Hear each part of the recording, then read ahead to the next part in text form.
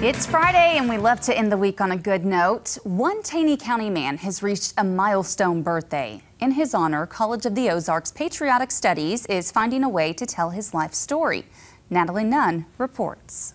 Every season of life is considered a chapter. Well, living to 100, you would have quite the story. In Parke Piper, well, he does. We are here at C of O, where they are working hard to put his story into a memoir.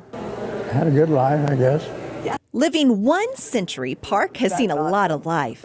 You, you sort of just go along with the flow, I guess. So much life, it caught the attention of C of O's Marcy Linsom. Parke Piper is a national treasure. Shortly after Pearl Harbor, Parke signed up for the Marines, joining a brother in the Navy and a half brother in the Army. It represented the corps, all those aviation corps. He traveled the world, fighting in some of the biggest battles of World War II, keeping a journal of it all.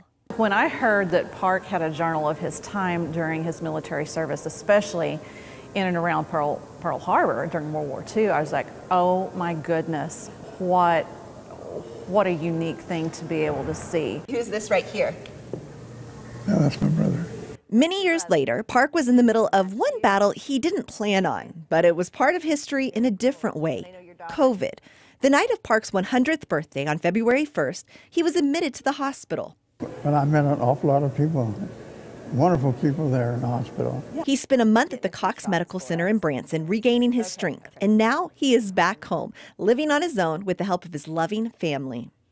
He managed to survive World War II and COVID. I mean, come on. We're told that they hope to have Parke's memoir done by the end of the semester so that they can use it to teach future generations about the greatest generation. In Point Lookout, I'm Natalie Nunn, Ozarks First.